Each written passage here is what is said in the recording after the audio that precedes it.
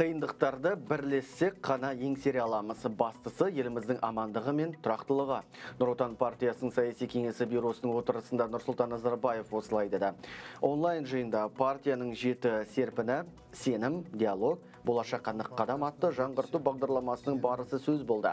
Елбасының айтуынша жыл басынан бері Нұр Отанның қоғамдық қабылдауына 270 мың адам өтініш білдірген, ал карантин кезеңінде онлайн өтініштер 5 есе көбейген. Және де Нұрсұлтан Назарбаев аты жаман дерттің кезекті толқынның алдын алуға үндеді. бизнес өкілдерінің арнаған үндеуім қолдау тауып соның арқасында жиналған қаражат 2 миллион 300 мың азаматқа тиісті жәрдем жасалды. Сарапшылар күзде пандемияның екінші толқыны болуы мүмкін деген болжам жасап отыр.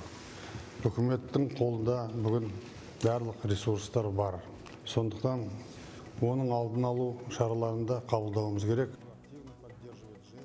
Негізгі мәселе жетекші партияның праймеризі болды. Айтып өтейін, Нұр Отанның ішкі сайлауына мыңнан астам адам өтініш білдірген. Бүгін тіркеудің соңғы күні артынша үгіт насихат жұмыстары жүргізіліп, ал қазан айының бірі мен үш аралығында дауыс беру өтеді. Ол онлайн режимде және дәстүрлі, яғни бюллетендер арқылы офлайн түрде де болады. Люди хотят Адамдар еліміздің саяси өміріне белсене қатысқысы келеді. Біздің ортақ мәселелерімізді шешу үшін ашық диалог орнату маңызды. Праймериздің мақсаты жергілікті мәселелерден жақсы хабардар қоғамның қолдауына ие әр өңірдегі партия бөлімінің лидерлерін анықтау. Қыркүйекте барлық 216 жоба жарияланады. Оны шешу де біздің мойнымызда.